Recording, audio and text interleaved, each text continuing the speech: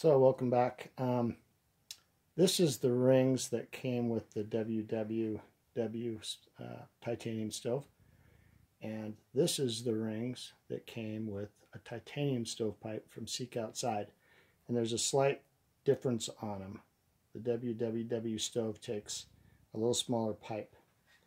Um, and the WWs are lighter than the Seek Outside.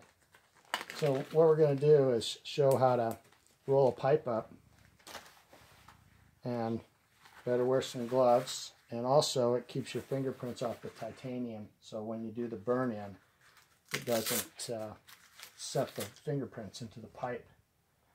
And you just roll it out. Now this is a shorter one. We did a seven and a half foot burn um, this weekend. Move it down a little more. And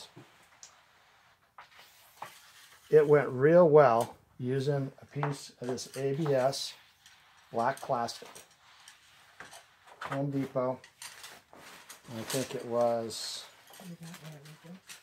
don't hit my charge $5.98. And you know what? I don't need a piece of this, so I'll probably return it. But it really helps to roll these pipes up. So you just start kind of with a pipe this short, you just kind of get in the middle and the side. Just start rolling it real tight. Okay, hold on, hon. Just hold it. Let me bring this back a bit. Bring yours back a little bit. Okay. And it just makes a nice tight roll. Now this, this is a little wider piece of titanium than my stainless steel pipe was thing is you get your you get your fingers caught under there is the problem. hold on.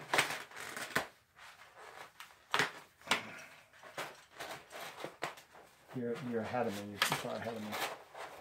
Just keep rolling. Try and do it real evenly and try and keep your gloves from getting caught in there.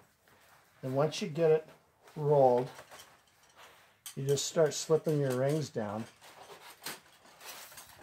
And I've got a lot of rings on this one. Let's set a few out close to the edge. And then working towards the center. How are you doing there? Okay, I got a hold of it if you want to slip some down.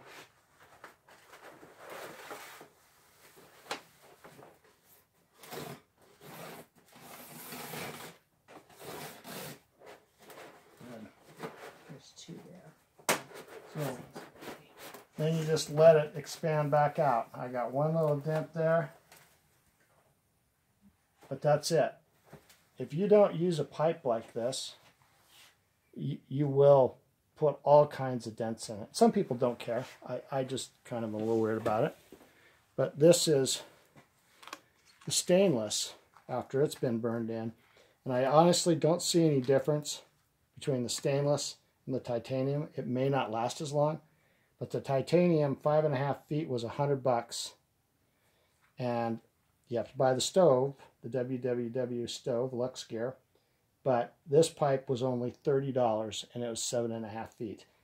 And there's there's virtually no weight difference. So I think maybe uh, Lux Gear has found a cheaper alternative. Only time will tell whether or not it lasts as long. So what we'll do now, because there's still a fire ban, is we'll take a weed torch, propane weed torch, and we just heat this up. And we just do it real kind of gradually, and we don't rush it because it does kind of start to crinkle up when you heat it up. But once you've got it set, you can just take and unroll it, throw it out, and it goes into your pipe. So uh, they're well worth it. I can't believe I haven't bought one before now. So anyway, get out there. Thanks for joining.